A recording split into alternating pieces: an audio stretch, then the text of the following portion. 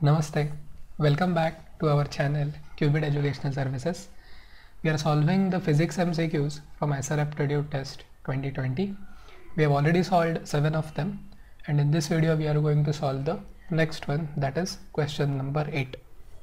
This is based on uh, the Bohr model of the atom. Let us read the statement first. An electron of mass me has a speed un in the nth Bohr orbit of a hydrogen atom.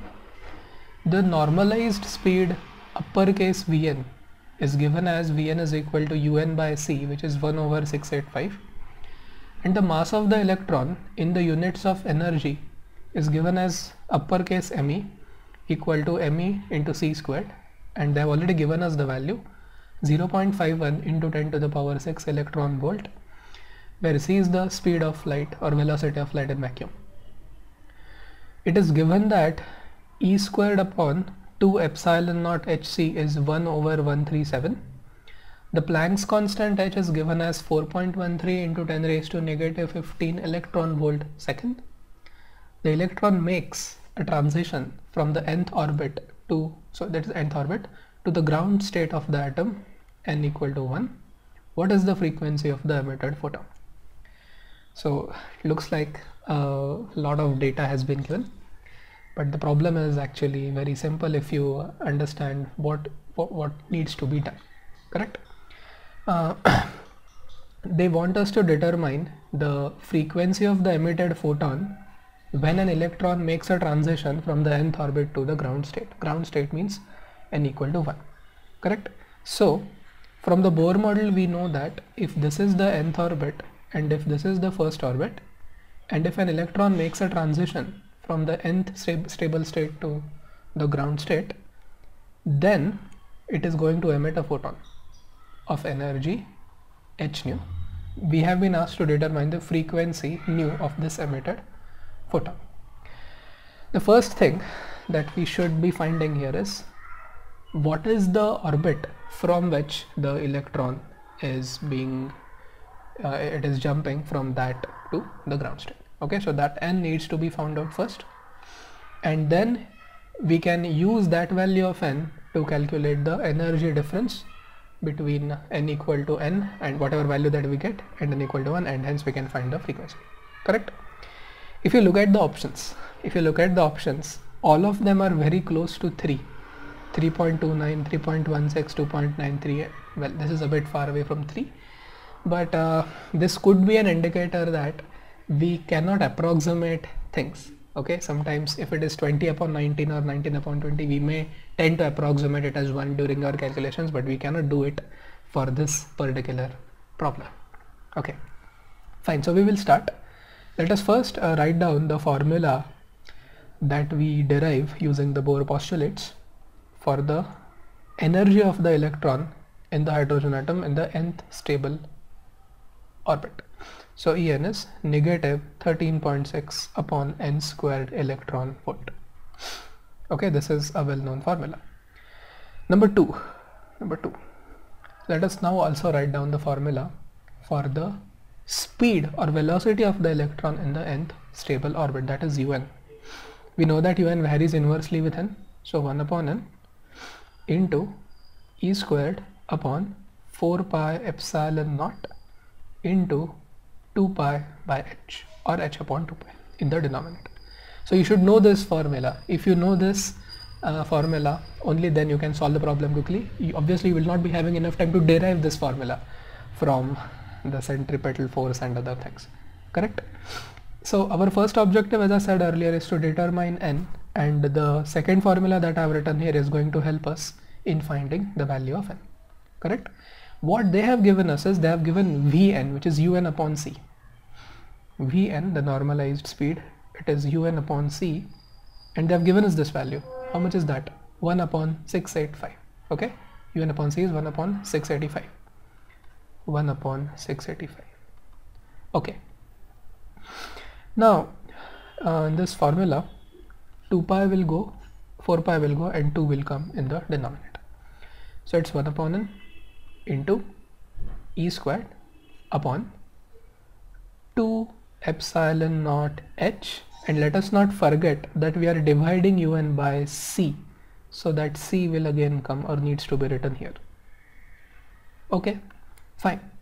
Now if you read the problem carefully again you will find that or you will realize that the value of this uh, constant has also been given in the problem e squared upon 2 epsilon naught hc okay where is it okay it is this one. E squared upon 2 epsilon naught let's say this value. How much is that? That is 1 upon 137 so this is uh, 1 upon 137 therefore 685 therefore 685 must be equal to n into 137 right?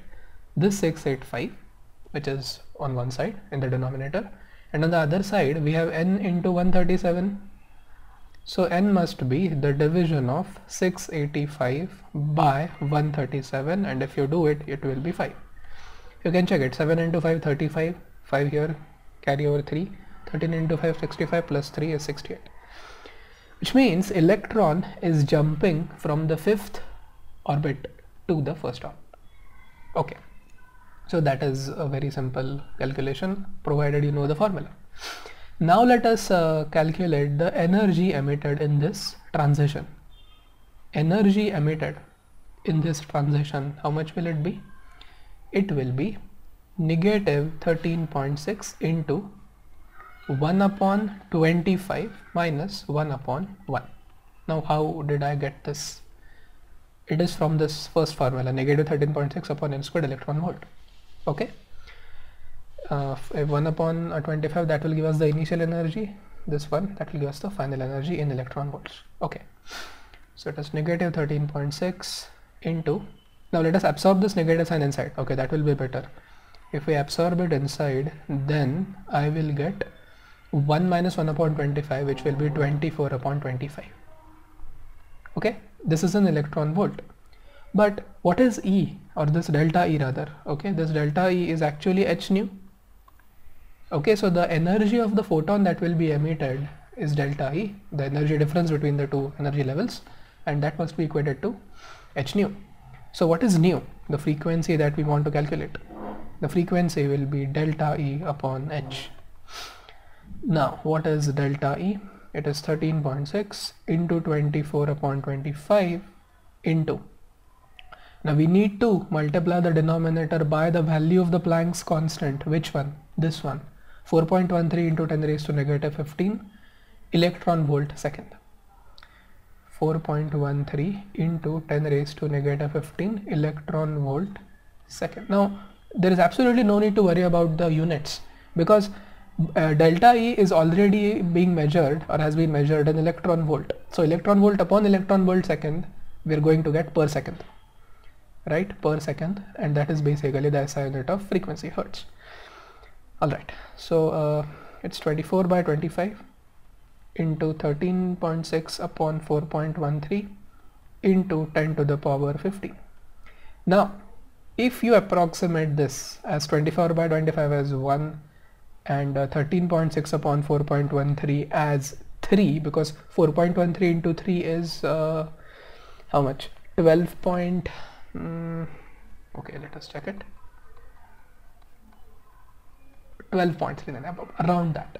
So if you uh, try to uh, approximate it as 3 then as I said earlier you, you will not be able to decide which of the options is true because all of them are very close to 3 as I said at the beginning. Okay all these options. Okay? Forget about the power 10 raised to 15 that is there in the denominator of this one. Okay? So have to either calculate it uh, by multiplying 25 by 4 so that that will be 100 and then do whatever division you want to. Or you can rather I can use a calculator so I'm going to do that now. Okay so let me do it. 24 into 13.6 divided by 25 into 4.13 how much is that that is 3.1612 let's take the first two digits after after the decimal point. 3.16 3.16 into 10 raised to 15 hertz. And do we have that option? Yes that is option p. You will you may find this problem intimidating for the very reason that they have slightly twisted the things but if you read it carefully and write down the data and try to connect it with the equations available to us in particular the equation for the uh, speed of electron in the n stable orbit and the energy energy equation is already known to most of you and try to modify it. The the rest of the steps are very easy and there is one more thing the calculation part. If the on-screen calculator is available you can definitely or you should rather definitely make use of it. I have a separate video uh, made on how to handle that on-screen calculator with the correct syntax you can check it out. And uh, well that's it. That is the solution to question number 8